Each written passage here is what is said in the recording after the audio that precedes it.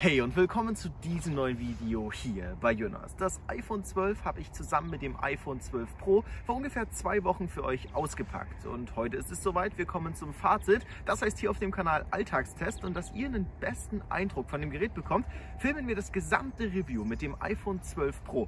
Das heißt die Kameras, die sind ja identisch, zumindest was die Hauptkamera angeht.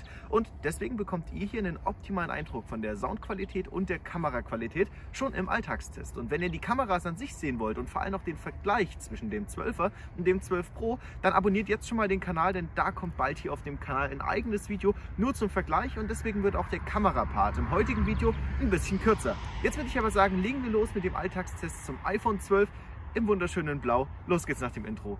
Viel Spaß!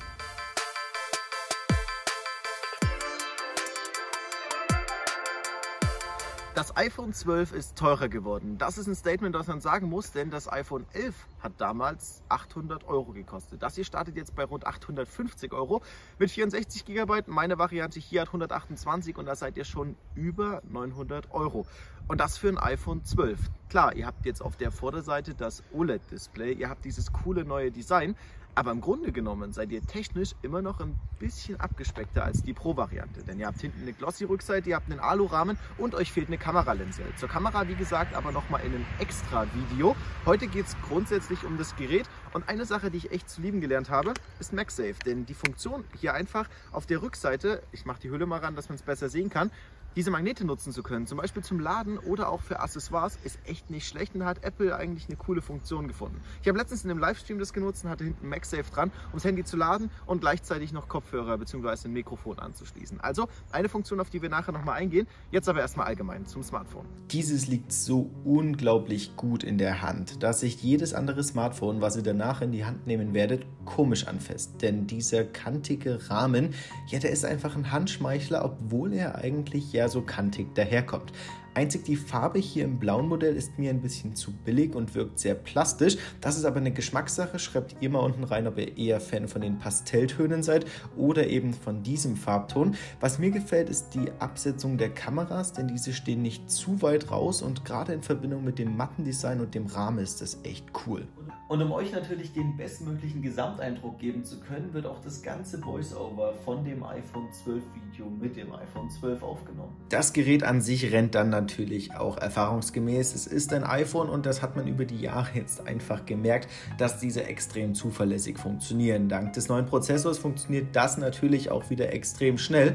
Einzig die Display-Wiederholrate hemmt das Gerät an sich ein bisschen und ich finde es extrem schade, dass Apple lieber auf den 5G-Standard gesetzt hat, als sich für ein 120 Hertz Display, also eine höhere Bildwiederholrate zu entscheiden. Dadurch wären die Eindrücke und die Darstellung noch einmal flüssiger gewesen, aber okay, Apple ist hier bewusst den Schritt gegangen, das Gerät langlebig zu machen und somit schon einmal mit 5G auszustatten. Das iPhone 12 ist im Vergleich zum 11er, also dem Vorgänger, leicht geschrumpft bei gleicher Displaygröße. Es gefällt mir persönlich immer sehr gut, denn das bedeutet, dass die Displayränder auf der Vorderseite kleiner geworden sind. Und das in Verbindung mit diesem eckigen und kantigen Design gibt echt ein cooles Gesamtsystem. Außerdem habt ihr jetzt ein OLED-Panel wie auch im iPhone 12 Pro und das macht das Gerät nochmal viel, viel wertiger, denn die Kontraste und auch die Schärfe punktet dadurch und es macht einfach ein schöneres Gesamtbild, wenn ihr es im Alltag nutzt. Und das Argument, ich brauche ein iPhone 12 Pro, um eben OLED-Display zu haben, wie es bei den 11er Modellen war, das entfällt. Und deswegen ist das hier auch so ein bisschen der Geheimtipp, aber dazu später im Fazit.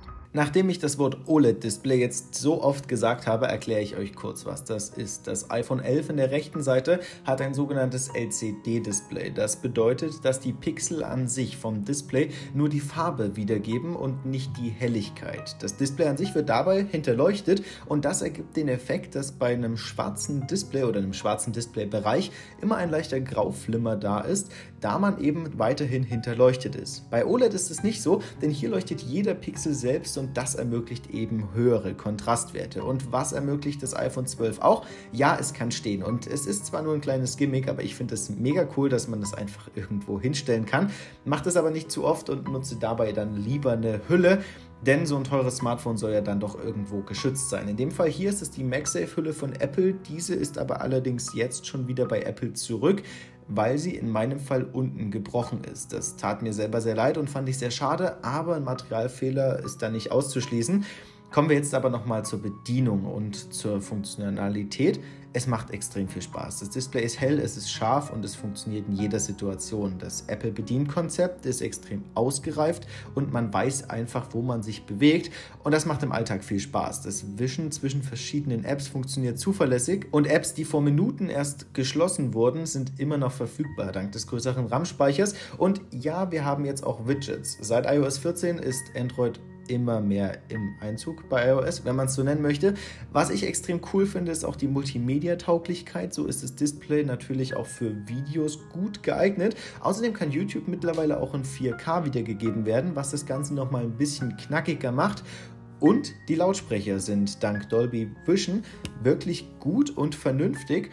Und ihr bekommt dadurch einfach ein schönes Entertainment-Erlebnis in dem Moment. Und das ist echt cool, gerade für mich jetzt an längeren Pausen an Ladesäulen, weil sowas zu überzeugen, denn nicht jedes Auto hat Netflix an Bord. Das iPhone 12 hat auf der Rückseite, wie schon das 11 damals, zwei Kameras. Das ist zum Glück ein Ultraweitwinkel und ein normaler Weitwinkel. Die wissen wirklich zu überzeugen. Und schauen wir uns jetzt mal an, alles Detaillierte dazu. Aber wie gesagt, im Vergleich dann mit dem iPhone 12 Pro.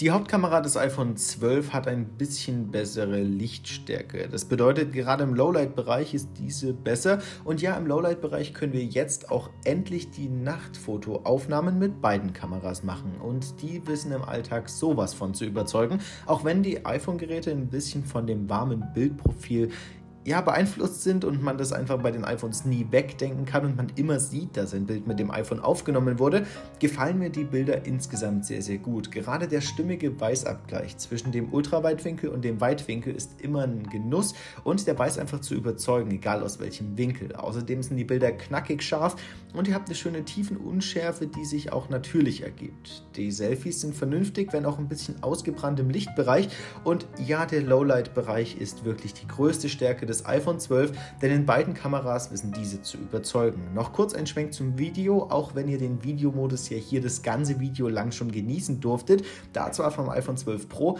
aber der Hauptsensor ist ja genau identisch. Die Videos sind schön, sind gut stabilisiert und machen viel Freude, wenn man sie im Nachhinein nochmal anschaut.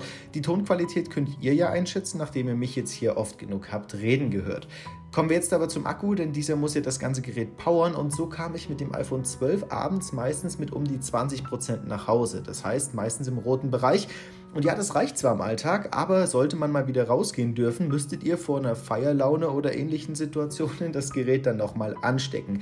Das geht ja mittlerweile gut über Wireless Charging, aber bei den iPhone 12 Modellen auch mit MagSafe. Und das ist ja der Standard, den man früher noch von den alten MacBooks kannte. Jetzt kommt dieser in den runden Magnetcharger auf die Rückseite vom iPhone, ermöglicht dann 15 Watt Charging, aber das Beste, was er ermöglicht, ist meiner Meinung nach, dass ihr das Gerät kabellos laden könnt. Das heißt, unten steckt kein Stecker drin. Er ist auf der Rückseite sozusagen ja kabellos angebracht, aber ihr könnt es weiterhin benutzen. Und gerade am Schreibtisch ist es mega praktisch, das Gerät nicht fix ablegen zu müssen, um es dann nicht mehr verwenden zu können. Und MagSafe hat außerdem den riesen Vorteil, dass ihr Accessoires anbringen könnt, wie beispielsweise hier dieses Wallet von Apple. Und ich bin so gespannt, was andere Drittanbieter da für Apps bzw. für Accessoires noch entwickeln, die dann da hinten rankommen. Zum Wallet an sich kommt im Übrigen auch bald noch ein eigenes Video. Kommen wir jetzt aber zum Fazit des iPhone 12, dem normalen, nicht dem Pro, mit dem wir gerade das Fazit aufnehmen. Schreibt jetzt gerne schon mal in die Kommentare, was ihr für der, von der Videoqualität haltet, denn das ganze Video, wie gesagt, alle Aufnahmen sind mit dem iPhone 12 Pro aufgenommen und die Aufnahmen des iPhone 12 Pro stammen von dem Technikwunder hier. Und Technikwunder ist es wirklich, denn während man letztes Jahr bei der 11. Generation noch so ein bisschen im Struggle war, ob man die eher empfehlen könnte als die Pro-Variante, denn da war ja das Display noch ein LCD-Panel. Jetzt haben wir hier dasselbe Display wie im iPhone 12 Pro und das macht das hier zur absoluten Kaufempfehlung. Für über 900 Euro, so 920 roundabout, mit 128 GB, denn drunter würde ich es eigentlich nicht empfehlen, ist das hier richtig genial. Ihr bekommt das große Display mit der vollen Auflösung, dem OLED-Panel. Auf der Rückseite den gleichen Kameras bis auf den Telezoom, aber das schaut euch gerne in dem Kameravergleich an, den wir eben mit dem iPhone 12 Pro gemacht haben. Ist das ja genau das gleiche Gerät wie das iPhone 12 Pro. Und wenn ihr damit klarkommt, dass ihr hier keine matte Rückseite habt, sondern so ein bisschen diesen glossy Look und einen Alurahmen, dann ist das wirklich das Gerät für euch. Außerdem, Fun Fact an der Stelle, die Farbe von dem Außendesign hier ist genau die von der blauen Apple Watch und das rote ist genau die Farbe, ihr ahnt es jetzt, von der roten Apple Watch. Wenn ich die Farbe entscheiden müsste beim iPhone 12, ich würde nicht das Blau nehmen, das ist aber nur mein Geschmack, denn ich finde das ein bisschen zu günstig wirkend. Während die anderen Farben alle durch einen Pastell-Look hochwertig daherkommt, ist mir dieses Blau ein bisschen zu aggressiv und es wirkt zu plastisch. Aber das ist natürlich eine Geschmackssache. Es gibt auch viele, denen das Blau gefällt.